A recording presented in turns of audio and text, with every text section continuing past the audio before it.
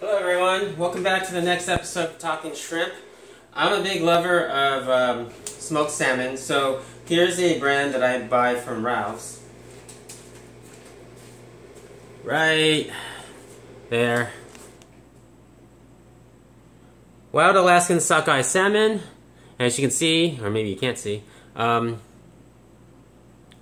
this, my wife already ate the first half, so it's my turn to eat the second half. But uh, I'm a big lover of spice as well. So what I wanted to know is, do you eat your salmon like me?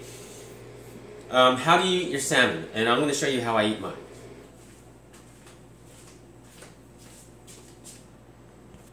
And there it is. You might think this is crazy, but I love lemon, I love pepper, and I love smoked salmon.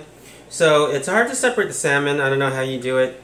Uh, sometimes you gotta use your fingers, but I take each piece, or I try to. I dunk it in lemon, and then pepper. Look at that. Whoa. Rinse and repeat.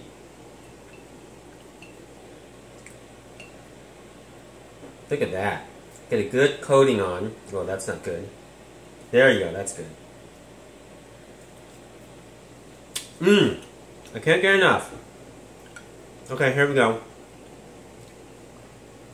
Hold this one up to the camera.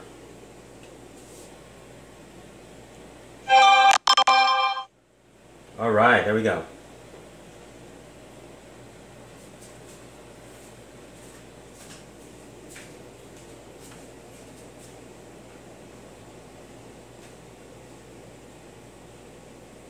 I'm gonna put my hand behind it to, there we go.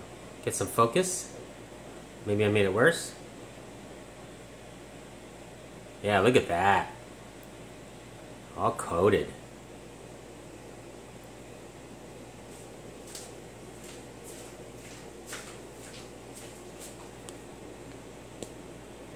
That's a good shot. Mmm.